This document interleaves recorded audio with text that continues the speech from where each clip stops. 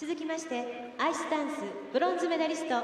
フランスのマリーナ・アニシナグエンダル・ペーゼラ組のお二人です。フリーではあのロミオとジュリエット非常に印象に残りました。エキシビション「タイム・トゥ・セイ・グッバイ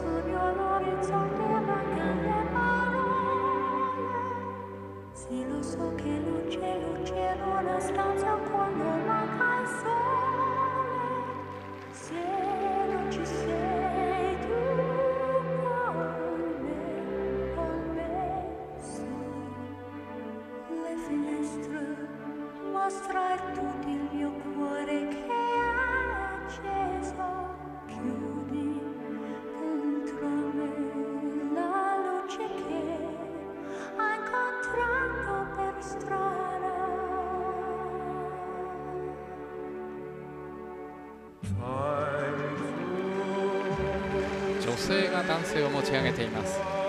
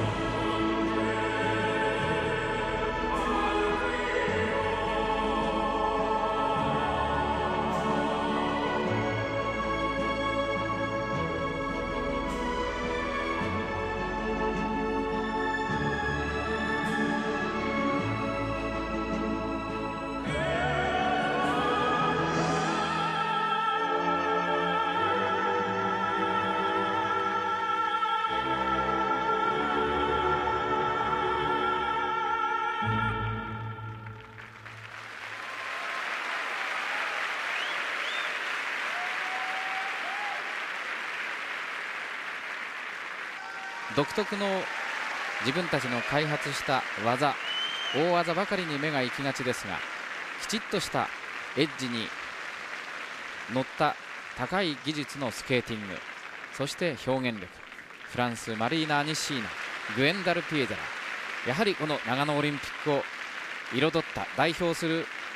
2人カップルでもあります。